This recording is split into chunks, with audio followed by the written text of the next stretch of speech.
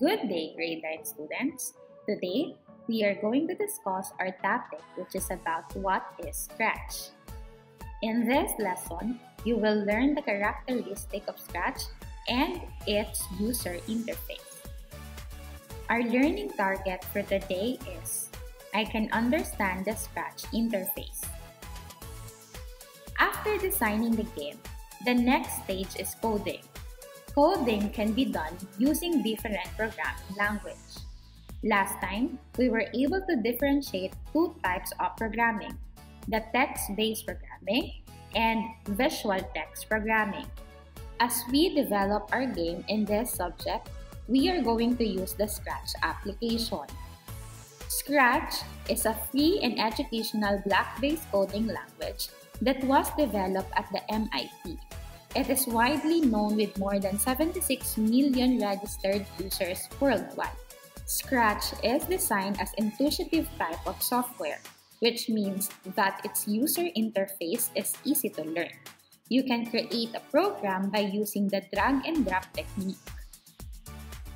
Scratch uses blocks that are put together to create a program. Each block has a command that manipulates the object on the stage to create animation and programming. You drag a block and place it on the code area, making them attach like Lego pieces.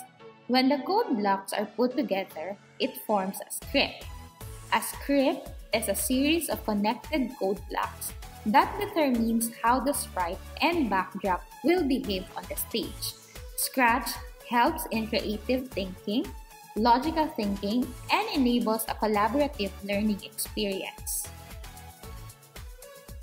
To start with your session in Scratch, you have to go to the taskbar and click on the search button.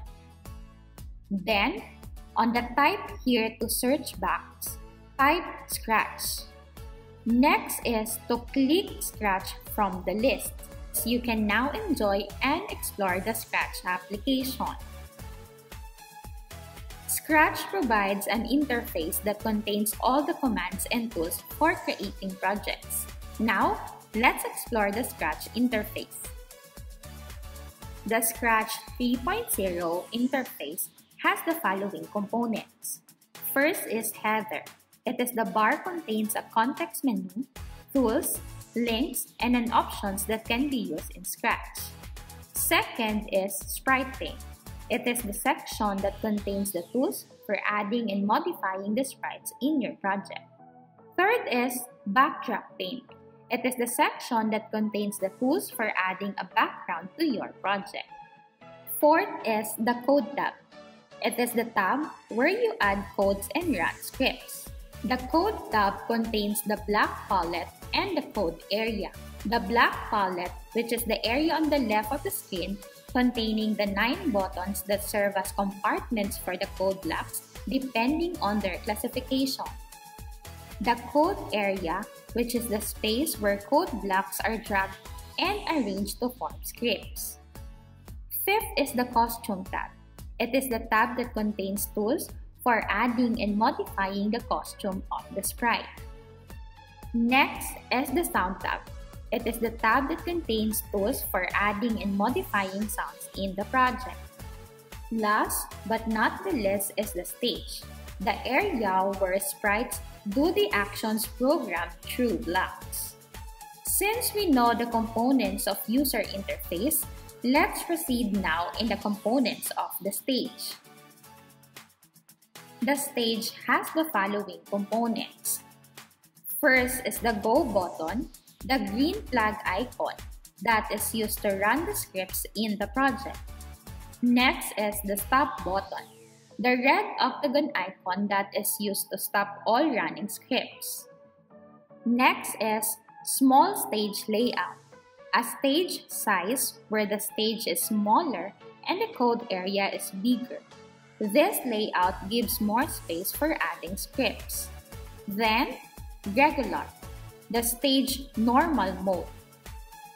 And last is the full screen, the size which fits the stage to the computer screen resolution. When you click on this button, the other parts of the Scratch window are hidden. Only the stage will be shown on the screen.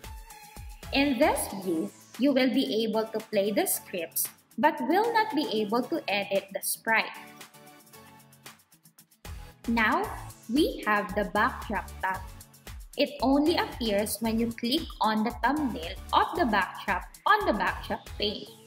It contains tools for adding and modifying the backdrop in your project.